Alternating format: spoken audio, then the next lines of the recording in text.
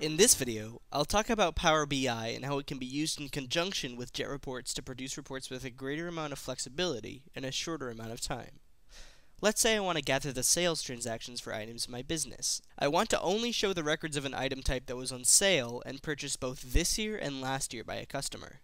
In Power BI, this can be pretty tricky. You'll need to create parameters and measures that will take time and effort you don't want to give for a one-time use report. Using the table builder in Jet Essentials, which is a free product from Jet Reports, we can get something like this done pretty quick and without very much effort. In Excel, I'll go to the Jet menu from the ribbon at the top of the window. Then I'll click on the Table Builder button, which opens a dialog box. I'm going to add a table for my database, Item Ledger Entry, which contains the records of the company's sales. I'll search for the fields I want to add from the table into my report. I'll add item number, quantity, and posting date from this field. Now that we've aggregated our fields, we can slice them down using filters. The item I want to see in the result is C10002, so I'll make a filter where item number is equal to that number. I only want to see the sale item, so I'll make another filter where entry type is equal to sale. And I only want to see orders during 2013, so I can make a filter for the posting date where entries are between the beginning and end of the year.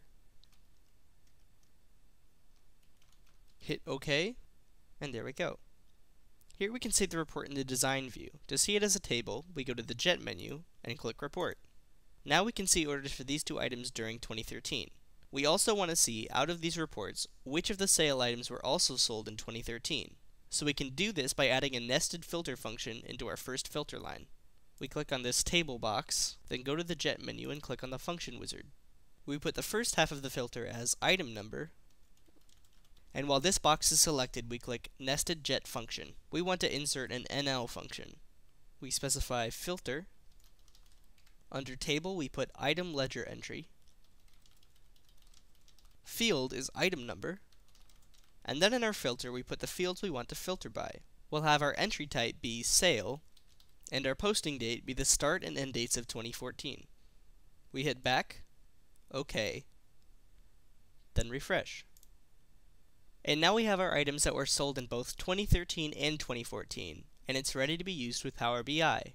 Using Jet Reports, you can quickly and easily manage your data and make reports without spending a lot of time or effort. To learn more, visit our website, jetreports.com. Thanks for watching.